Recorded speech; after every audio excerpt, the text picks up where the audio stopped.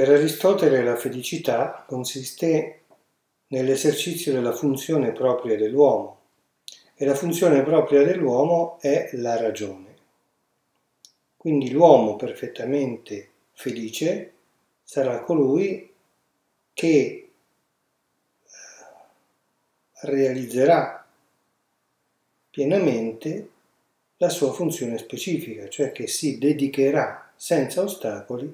alla ricerca filosofico-scientifica. È il famoso uomo teoretico che si dedica alla contemplazione dell'essere, allo studio della realtà, privo di tutte quelle preoccupazioni dei comuni mortali che devono sbarcare i lunari ogni giorno, evidentemente l'uomo teoretico ha un patrimonio che gli consente di dedicarsi pienamente alla ricerca scientifica, ma egli ha anche desideri moderati, cioè non è ambizioso, non desidera eccessivamente i piaceri legati al corpo e trova dunque la piena realizzazione di sé nell'esercizio dell'attività più propria dell'uomo, quindi il pensiero, il nus, la ragione. La felicità perfetta quindi è esercizio pieno, senza ostacoli, della ragione umana per Aristotele. Naturalmente solo pochi potranno raggiungere la, la, felicità perfetta, questo risultato, perché solo pochi individui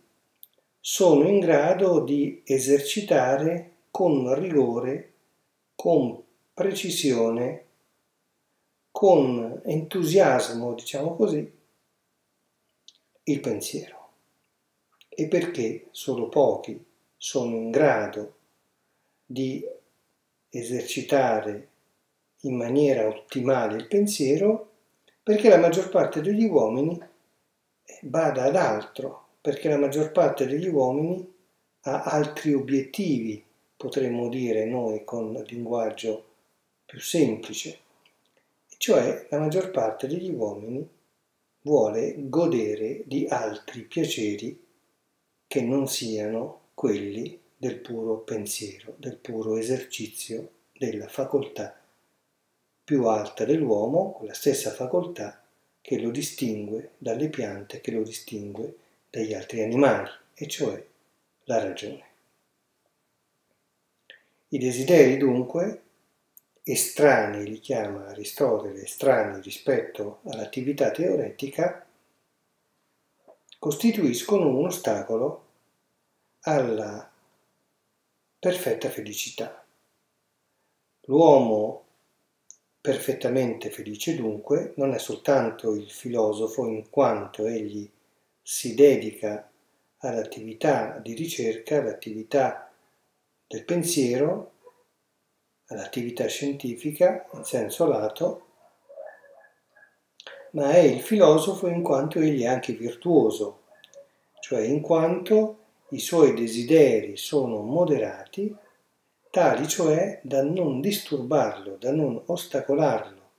in questa sua eh, attività scientifica. La virtù dunque è inscindibilmente legata all'attività teoretica, cioè il filosofo, lo scienziato, diremo oggi, per poter godere appieno della sua attività, per potersi dedicare con piena efficacia e con piena soddisfazione alla sua attività, non deve soltanto avere i mezzi necessari per vivere dignitosamente, ma deve anche avere desideri, voglie, impulsi moderati al punto tale da non disturbarlo in questa attività superiore. E a questo proposito trovo interessante il discorso che Aristotele fa nell'Etica Nicomachea, nel settimo libro in particolare, ma poi il discorso viene ripreso anche in, altri, eh, in altre sezioni degli altri libri, la distinzione che egli fa tra la intemperanza e la incontinenza. L'intemperanza è per Aristotele un vizio e la virtù corrispondente naturalmente la temperanza, la sofrosine, mentre l'incontinenza non è un vizio per Aristotele, ma potremmo dire un po' una un destino sfortunato che eh, incombe su individui peraltro di buona volontà. L'intemperanza è un vizio perché l'intemperante sceglie volontariamente di abbandonarsi a piaceri eccessivi pur non avendo dei desideri eccessivi. Cioè l'intemperante si in qualche modo ehm, allontana volontariamente dal compito più proprio dell'uomo, che è quello appunto dell'attività teoretica, compito che gli consente, come ho detto poco fa, di raggiungere la felicità perfetta, quindi l'attività contemplativa potremmo anche dire, se ne allontana volontariamente perché ritiene che sia meglio perseguire un altro tipo di piacere, altri piaceri che sono estranei all'attività del pensiero, all'attività razionale, che sono piaceri desideri legati alle funzioni inferiori dell'anima, e cioè alla funzione nutritiva, il mangiare e il bere in maniera eccessiva, e la funzione, eh, eh, l'attività sessuale. Quindi l'oggetto su cui si esercita come dire, la scelta dell'intemperante, dell'intemperante è il cibo e il sesso, il mangiare, il bere e l'attività sessuale.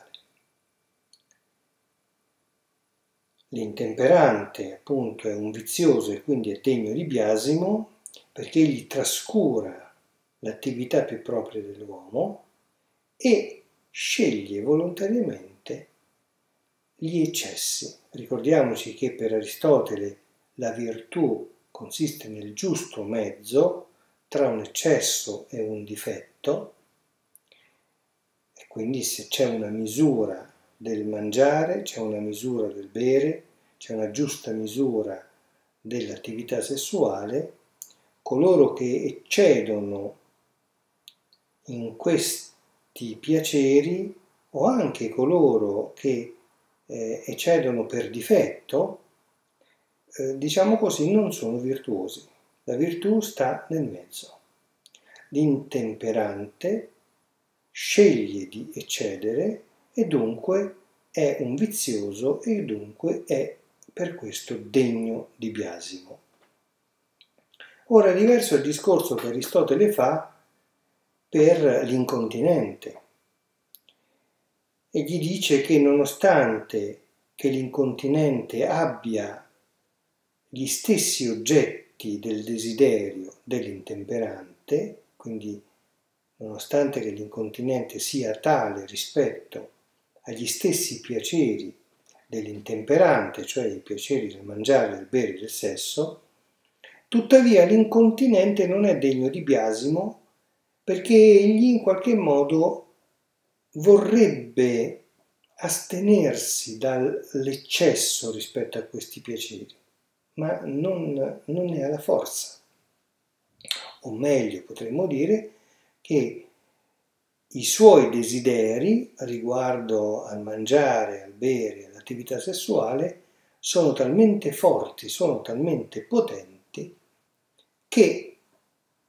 egli non sa eh, regolarsi, non sa darsi una misura, nonostante che capisca che occorre darsi una misura. Quindi l'incontinente non sceglie deliberatamente, come fa l'intemperante, di eh, eccedere